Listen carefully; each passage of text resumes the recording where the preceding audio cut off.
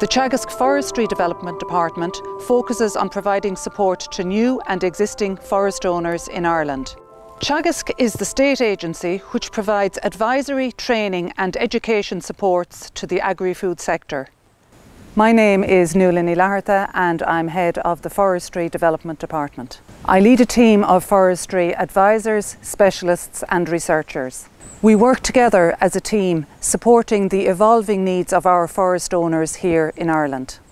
Our team of researchers carry out their work at our Teagasc research centres at Ashtown, Athenry and Carlow. In addition, we also have research trials in forests throughout the country. We benefit from having many collaborations both nationally and internationally. Our advisors are located around the country and provide support regionally. Our forests here in Ireland, and especially our private forests, are quite young, with nearly three quarters of them being less than 30 years of age. We have about 23,000 forest owners and we are actively trying to encourage more afforestation with the target of increasing our forest area from 11% to 18%.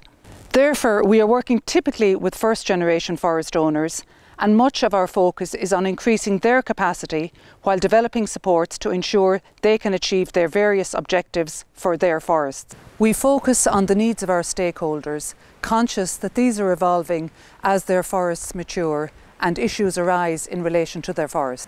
The challenges posed by climate change, as well as biotic and abiotic risks, continue to evolve and we need to be agile to address these challenges.